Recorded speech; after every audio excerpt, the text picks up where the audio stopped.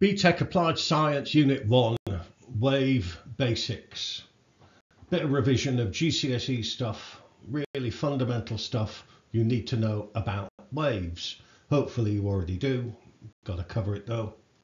So there's a wave traveling along from left to right. The speed of a wave, how fast the wave travels, meters per second, how many meters it travels every second. The speed of sound in air, is about 330 meters per second. Yeah, in a second it travels 330 meters. The speed of electromagnetic waves, EM waves, in a vacuum is 3 times 10 to the 8 meters per second. 3 times 10 to the 8, that's 3 and 8 zeros. That's 300 million meters per second. That's 300,000 kilometers per second and that's light, that's radio, that's microwaves. I say in a vacuum, it's also in air. It travels at about that speed in air as well. So do that question, piece of cake, pause the video. And the answer is in three, two, one. There you go. 1,650 meters. Hopefully you can see why. Uh, the number of waves that pass a point every second is the frequency. So here's some water waves traveling along. How many waves go under the bridge every second? That's the frequency. And that's little f, and that's measured in hertz, which is capital H, little z. So the frequency is measured in hertz, the number of waves that pass a point every second. Uh, this clarinet is playing a note. Uh, probably a bit lower than that. 440 hertz, that is. Uh, radio 2 uses radio waves to carry their signal. Uh, 91 megahertz, 91 million hertz, 91 times 10 to the 6 hertz. Uh, waves travel through a medium, uh, and what happens in the medium, for example, if it's water waves, then the particles of water on the surface of the wave will oscillate. They will vibrate, they will go up and down. Yes? So the particles in the medium oscillate. And we say that the frequency is actually the number of times a particle oscillates every second. If it's a high frequency, then the particles will go up and down very quickly. Okay, so that's another definition of the frequency. It is the number of times a particle oscillates every second. One important point is that the water doesn't go anywhere.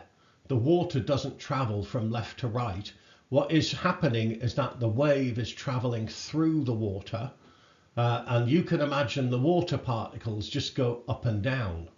Imagine it was like a little duck sat on the water and the little duck would be bobbing up and down. Yeah, the duck wouldn't be going from left to right. Uh, maybe if it had a surfboard it might, but no, the, the water doesn't go anywhere. The particles just oscillate, in this case, vertically. Now, the time it takes a particle to oscillate is the periodic time. So the periodic time, capital T, measured in seconds, and that's the time for one oscillation. So the smaller the periodic time, then the bigger the frequency. The less time it takes to go up and down, then the more times it will oscillate every second. Okay, the frequency is also the number of times a particle oscillates every second. And so I give you this equation here. The frequency is 1 over the period. Yes, if the period is big, then the frequency is low. If the period is small, then the frequency is high. So f equals 1 over t. If the period was 0.1, then the frequency is 1 divided by 0.1, which is 10 hertz. First of several equations, f equals 1 over t. Electromagnetic waves light and radio and ultraviolet and x-rays, they can travel through a vacuum. They don't need a medium. They don't need particles to oscillate. What actually oscillates is electric and magnetic fields. Yeah, because they can be in a vacuum. Electric and magnetic fields oscillate. That's why it's called an electromagnetic wave. But it can travel through a vacuum, doesn't need a medium. There are no particles oscillating. Now, these two particles, look at these red particles, look at the animation. They are oscillating together. They are going up and down. They're down and then they go up and then they go down and they are doing it together. And we say that they are in phase. And the distance between particles that oscillate in phase is a wavelength. And that is the definition of a wavelength. Yes, it's the distance between adjacent particles. Adjacent means next to each other. The distance between adjacent particles that oscillate in phase is the wavelength. And for wavelength, we use this symbol here, which is a Greek letter lambda. Yes, lambda. There you go. It looks like that. Okay, and that represents the wavelength the distance between adjacent particles that oscillate in phase. Remember that. Now, the two red particles are in phase and they are a wavelength apart. Now, notice the green particle is doing the opposite. When the red ones go up, the green one is down. When the red ones go down, the green one goes up. And we say that the green particle is in antiphase with the red particles. It's doing the opposite. That's antiphase. This will be important later on when we look at interference, when waves interfere. We need to understand what in phase and in antiphase means when we do interference. Now, there's my particle oscillating. If the wave wasn't there, then the water would just be here. That would be the level of the water. So what's happening to the particle is it is being displaced. Yes, it's being put out of position. It is being displaced. And this is a graph, or this shows us how the displacement of the particle changes. So you've got a big displacement, positive displacement, and then it's a big negative displacement. And then it comes up, oh, displacement is zero. Oh, now it's a big positive displacement. Yeah, this is displacement of the particle. A graph of displacement against time is looking like that. This is displacement of the particle against time.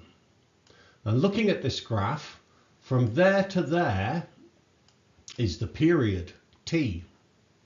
A big mistake students will make is they will say that's the wavelength. It's not the wavelength. Why not? Because this graph is against time. This is against time. So whatever that is, it is a period of time.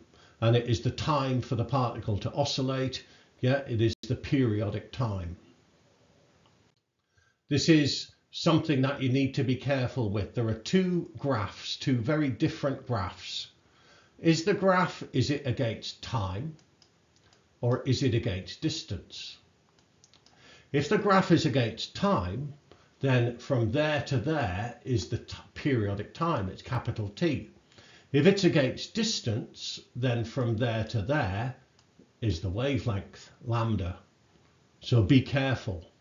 Now, the maximum displacement, and this is the same on both graphs, the maximum displacement is the amplitude, and that's capital A, and that's measured in meters, and that is the amplitude the maximum displacement. So it's like from the, the top of the graph to the center of oscillation, from the middle is the amplitude. Two types of wave, transverse and longitudinal. Should know this from GCSE. Uh, looking at this wave here, this wave is traveling in that direction there. The particle is oscillating at right angles to that direction. Okay, now that means it's a transverse wave. If the oscillations are perpendicular at right angles to the direction the wave is traveling in, that's what a transverse wave is. The oscillations are perpendicular to the direction the wave is traveling in. For example, you can make transverse waves with a slinky. Uh, water waves are transverse, waves on a string are transverse, all electromagnetic waves are transverse. So if you like, most waves are transverse. The oscillations are at right angles to, to the direction the wave is traveling in. Now, longitudinal waves, the only one that we really need to know is sound.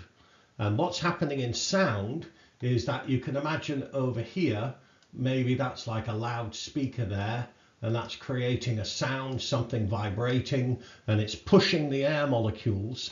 And you see these regions where the air molecules have been squished together. Yes, that's called a, a compression where the air molecules are close together. So you've got high pressure, high air pressure, and these travel as waves through the air.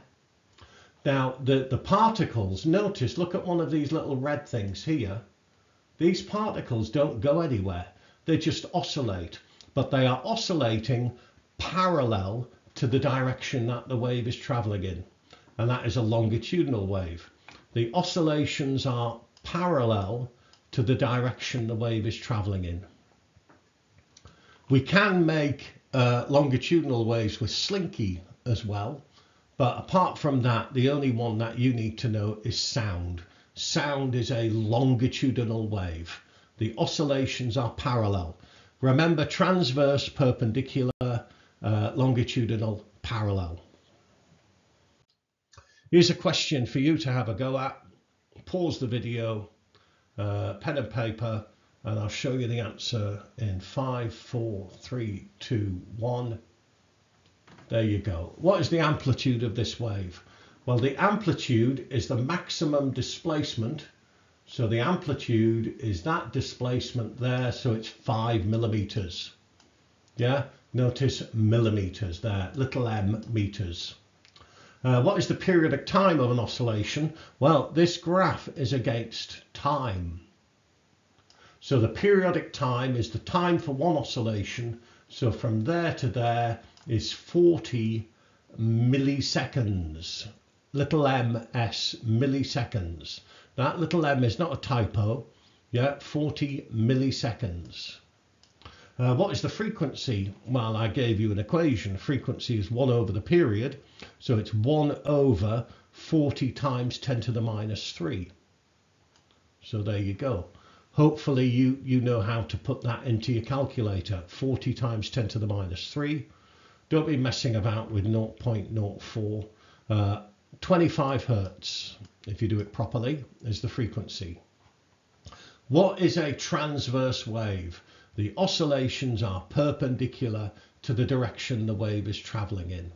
Learn that. What is a longitudinal wave? The oscillations are parallel to the direction the wave is traveling in. Get it learned.